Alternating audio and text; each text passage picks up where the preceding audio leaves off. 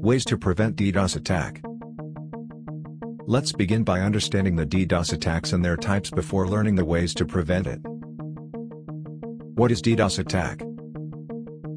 DDoS or Distributed Denial of Service is a type of cyber attack that hits critical systems to affect connectivity or network service leading to a denial of service for the users. It uses the processing power of numerous infected devices to target a single system. Three types of DDoS attacks.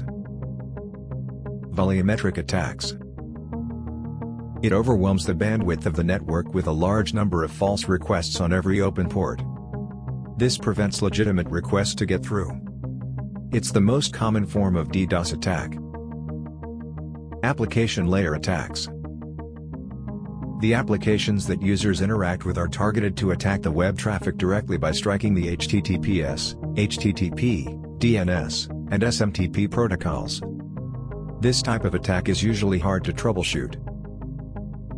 Protocol attacks. The network parts used for connection verification is targeted by sending malformed and slow pings intentionally to make the network consume a lot of memory to verify such pings. In a certain scenario, the hackers may employ all three types at once to crash a network completely.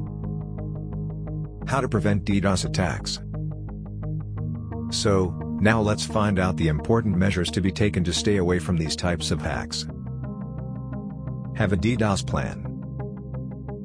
Have a plan for a thorough security assessment. This will help you in finding out the possibility of threats and vulnerabilities in your organization along with defining a reaction plan in the event of a DDoS attack.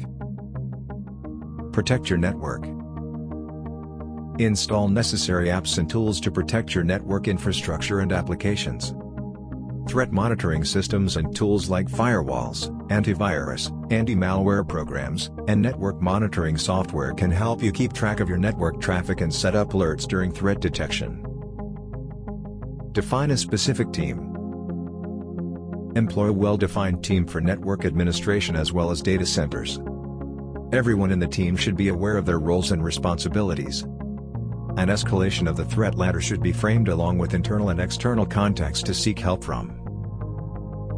Update everything regularly. Update your systems and networks regularly to fix any bugs or issues.